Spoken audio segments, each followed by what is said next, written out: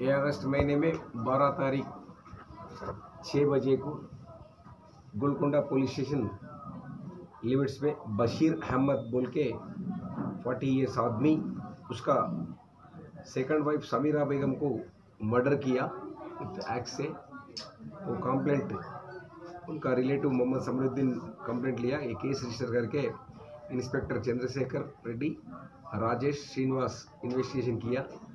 वो बशीर अहमद को आज आठ बजे को टोली चौक में गिरफ़्तार किया। इसको अदालत में पेश कर रहे हैं। ये मर्डर, डोरी हरासमेंट, डोमेस्टिक वायलेंस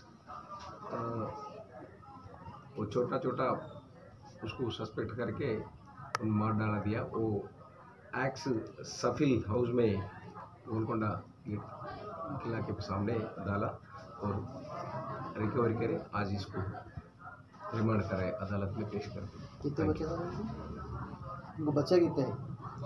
आ, इसको पहले वाइफ है उसको छः छः बच्चे हैं। पाहिम उन्नीस सा सेकंड है। वाइफ सर फोर मेंबर्स है।